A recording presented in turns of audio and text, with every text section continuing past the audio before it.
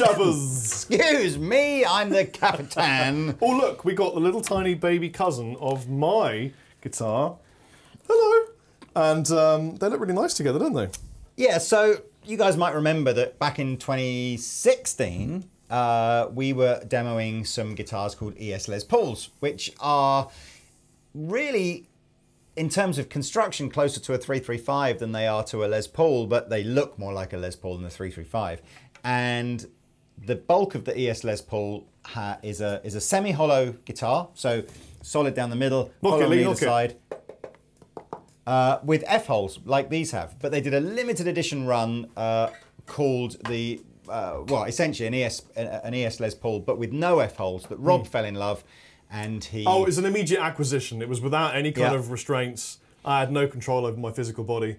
Money was spent. yeah. So he bought the guitar. He named it Georgia. Named it Georgia after a um, which is why Absolutely not true. which is why I named it Georgia because because it's the Memphis ES, and that's why. So anyway, so he's had that guitar, and then and then uh, You can't say that because the thing is. okay. put it in the F hole.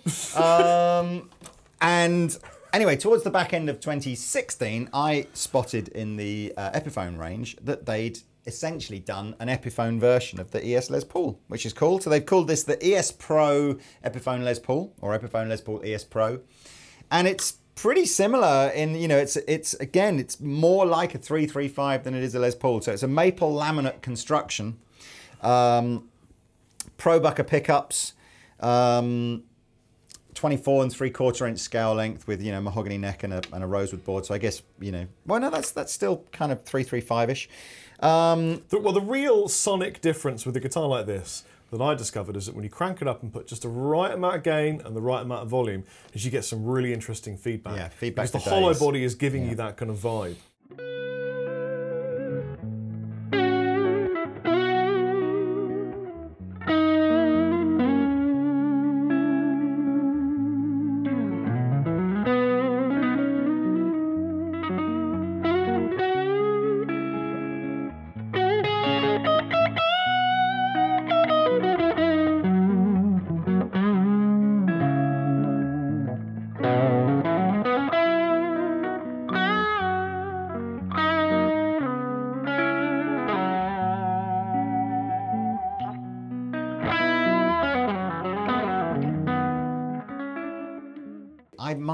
Gibson knowledge isn't detailed enough to know whether or not this is a, a copy of something Gibson have done or whether this is a, a, a slightly new thing. But this isn't this the center block on the ES Pro doesn't go the full length of the body. So it, I'm just sort of looking in here. It stops about an inch behind the tailpiece.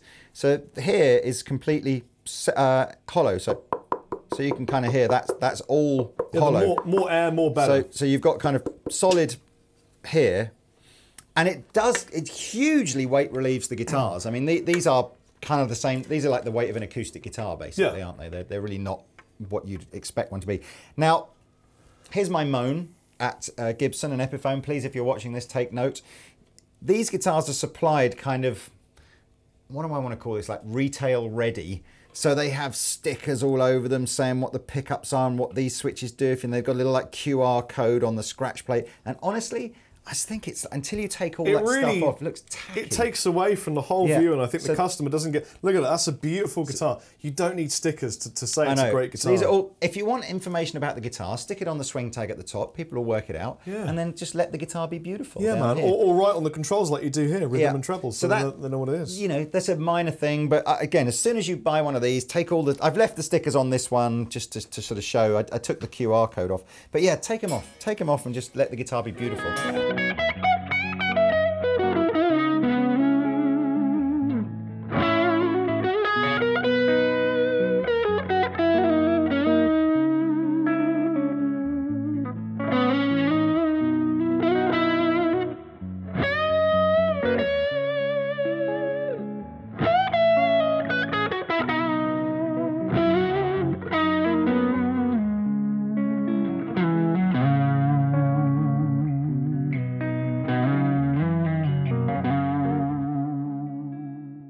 Yeah so pro buckers in the the pickups here um, let me give you some clean tones from this guitar. There's three colours, by the way. This beautiful faded cherry burst here, the trans black that I'm playing, and a wine red that Rory will put on the screen. Oh, I just dropped my plectrum. I'll get another one. Um, he'll put on the screen just about now. Um, so here we go. Neck pickup.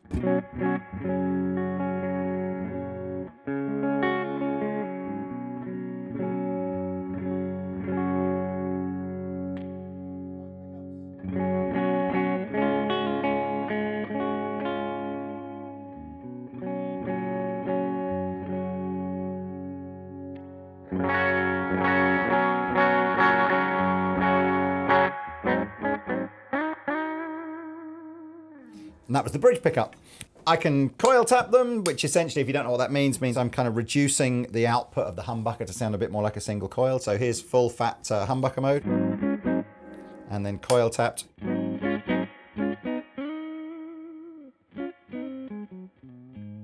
And I can do that to both pickups. So here's my bridge pickup.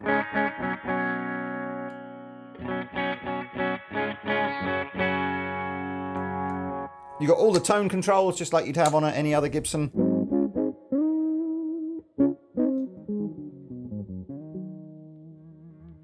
Um, and it's definitely it doesn't sound like a Les Paul, does it? No, it's got a completely unique voice to it, which is really nice. You know, uh, it's a really pleasant sounding uh, musical instrument. And what the, one of the reasons I fell in love with my ESLP is because when you pick it up, I started to play riffs. Yeah. And uh, I started. It was a writing instrument for me, and I really enjoy that about the hollow body quality. Um, so yeah, it just it just got me, you know, writing all sorts of.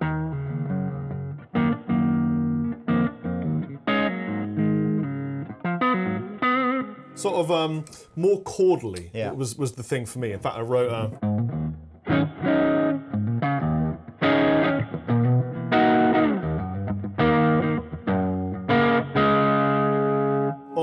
on on mine. Really, it's really open, and I mean, if, if we if we turn all the volume down on the guitars, I mean, this is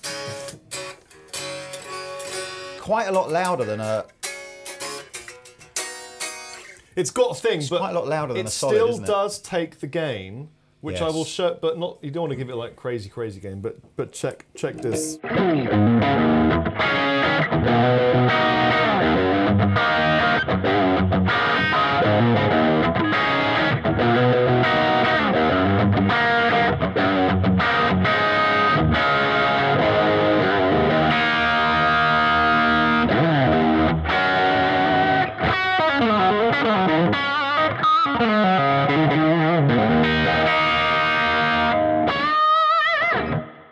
Now, now, certainly historically, one of the things you do have to be a bit careful with, with hollow body guitars. Although centre block guitars are much less likely to be a problem, but completely hollow guitars. If someone runs Um, on stage, don't try and hit them with it. No, it's you do get sort of slightly uncontrollable feedback at volume, but this doesn't seem too bad. I Let's guess do it's that sort of test, shall we? Beer.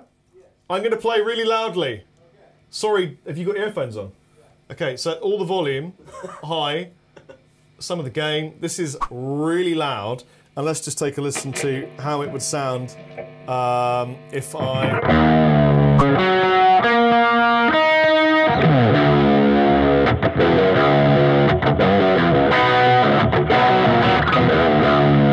Ready? yeah. Okay, full volume, red dwarf through, full 12.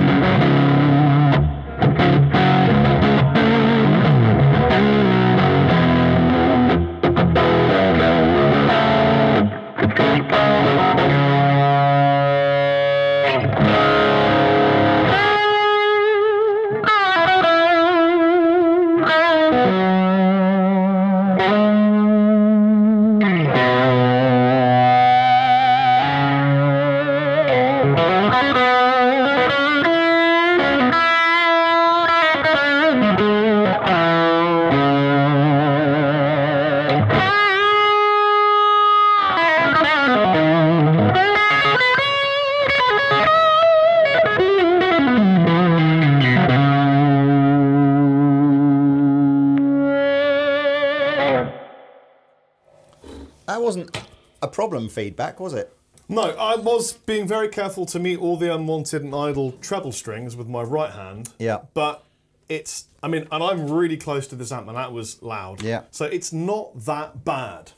So what else can we tell you? It's pretty tidy, you know, tidy. Like a looks like it's probably built in the same factory that make all of the, you know, the, the normal Epiphone Les Pauls, standard plus tops. Um, yeah, it's nice, tidy, re- really lightweight, unusual sound. Not unusual sounding, but you know, different sounding.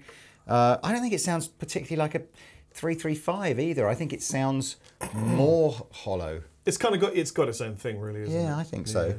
But it's it's it's um what's the right word when something's not Unique. heavy enough? Oh, not heavy enough. Yeah, where it's almost it almost feels like it's not been made of good things because it's just too light. I don't mean that, that that's probably come across wrong. I don't mean it feels cheap. I just mean as in it's just, it's just weird. It's not how you expect it to be. Yeah, because you it's look, at, you heavier look at the shape, you look at the fact it's a guitar, and you think, oh, it's it's going to be Les Paul weighted. it's not- it's but not. then It's still- you, you could you could easily pick it up with two fingers. It's still balanced nicely. I mean, it doesn't. It's not neck heavy or anything, is it? It No. still wants to sort of go the right way. You know what? It's a unique sounding instrument. It's really cool. You're not going to put EMGs in it and, and play a bit Metallica, but you want you still can play like Queens of the Stone Age, Yeah. kind of dirty, crunchy stuff on it. I love my full fat version to pieces, and um, I, I think recommend. a lot of I think a lot of guys will, will buy this who maybe just struggle, you know, with back problems and stuff, and quite like the idea of having a Les Paul, but just don't want something quite so heavy. yeah, Um, but I have to say, tidy construction, very Yeah, tidy. yeah, it's not you bad. Know, for, for an affordable Chinese-made Epiphone. Yeah. really tidy construction. it's not expensive. These are four hundred and fifty pounds. Um, uh, Of money, four, not weight. four fifty to five hundred pounds, something like that. So There you go. I want to jam out with something where I can use a distortion pedal. Okay, I'll play some basic blues. Do you play some dirty filth? I certainly will.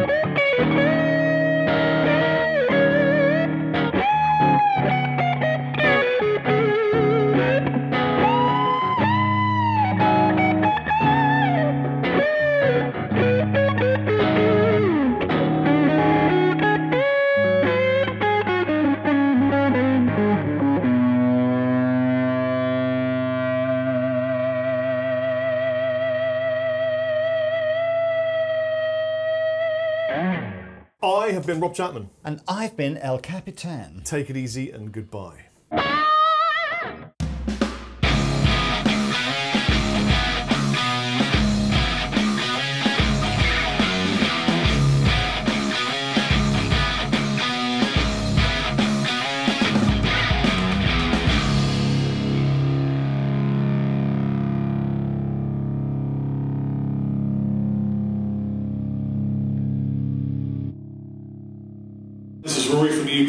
Tell me about Rory. So he uh, edits videos. Rory's awesome.